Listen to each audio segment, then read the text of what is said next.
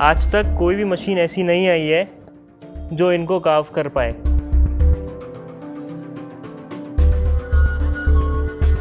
Colours का देखें तो स्टार्टिंग में पहले नेचुरल कलर काम आते थे।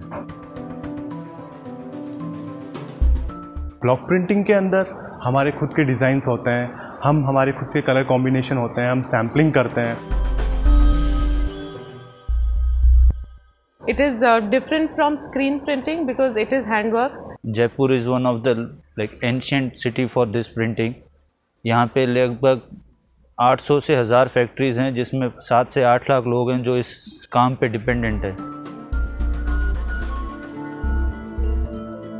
मेरा नाम तीर्थ है।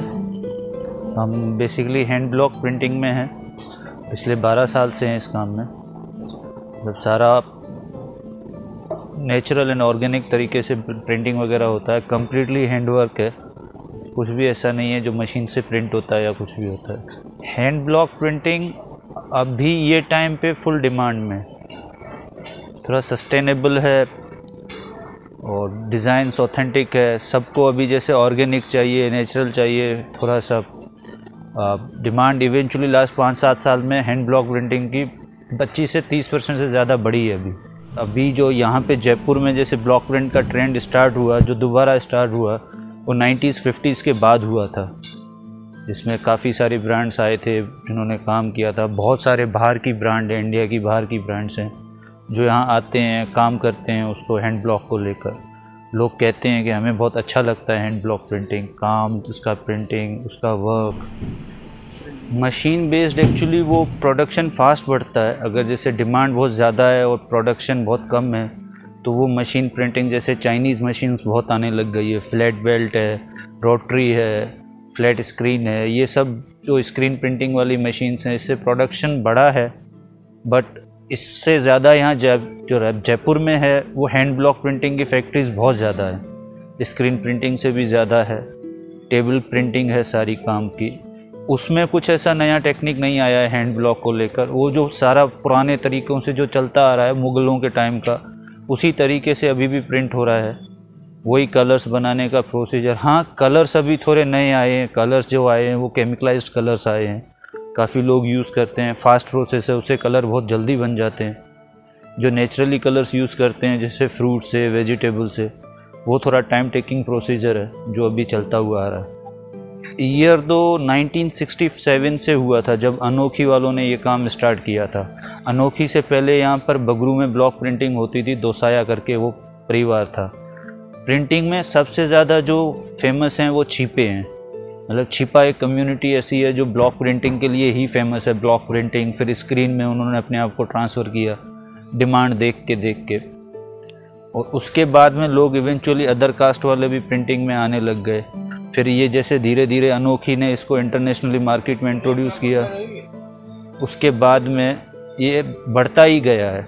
और अभी पिछले पाँच छः साल में मतलब इसका ग्रोथ पैंतीस से चालीस परसेंट बढ़ा है। डिमांड लोकल इंडिया में भी बहुत ज़्यादा बढ़ा है। इंडिया में मतलब और जब ये लॉकडाउन लगने के बाद में आफ्टर पेंडेमिक ब्लॉक प्रिंट की ज़्यादा डिमांड हुई है इंस्टेड ऑफ़ स्क्रीन प्रिंट या कोई भी मशीन प्रिंट से ज़्यादा। ब्लॉक प्रिंट का सबसे बड़ा फ़ायदा ये था लेबर सारी लोकल है और सब लेबर अपने घर से काम करती है।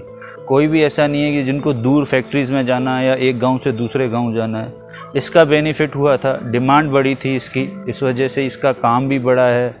नए लोग बहुत कम इंटरेस्ट लेते हैं एक्चुअली इसके लिए जितने भी जो कलर मास्टर है, जो उनको पता है कलर कैसे बनता है, क्या है, ये मोस्टली सारे जो ओल्ड एज वाले हैं वो। कलर्स मास्टरिंग के लिए नए लोग नहीं हैं।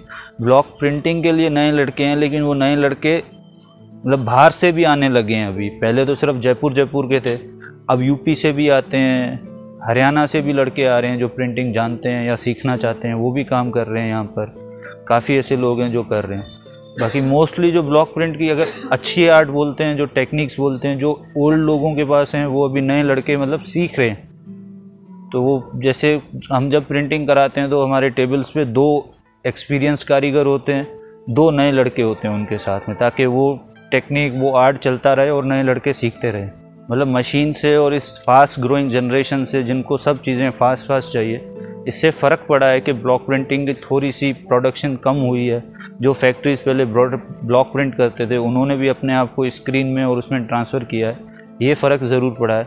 और पानी की भी कमी रहती है यहाँ पर, जैसे पानी लाइट्स की कमी रहती है। तो वो भी एक मेजर इशू है जो इसमें हमें कभी कभी फेस करना पड़ता है। गवर्नमेंट का बेसिकली ऐसा कोई बड़ा सपोर्टिंग रहा नहीं है वैसे देखा जाए तो। कि जिसमें देखें कि गवर्नमेंट इतना, कितने लोग बैठे हैं यहाँ पे, काम करते हैं। ना मतलब फैक्ट्रीज़ के लिए, ना पोल्यूशन क्लीनिंग के लिए कुछ ऐसा नहीं है। कि भाई, जैसे किसी, कोई ऐसा एक जोन बना दे, जैसे जयपुर इतना बड़ा प्रिंटिंग का हब है।